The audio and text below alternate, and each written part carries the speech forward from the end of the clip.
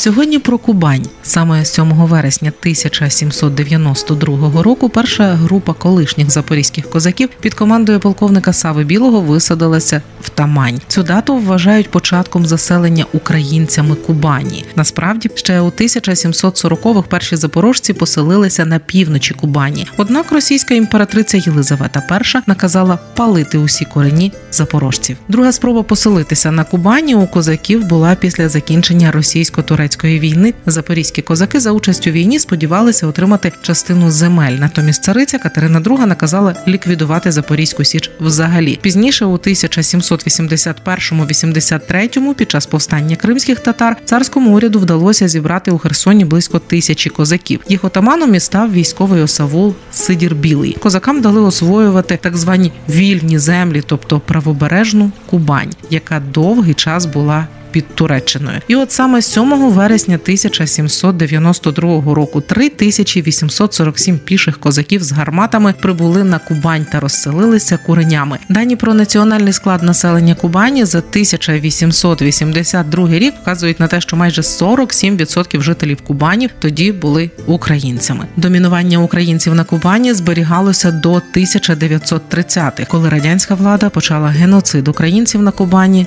та репресії.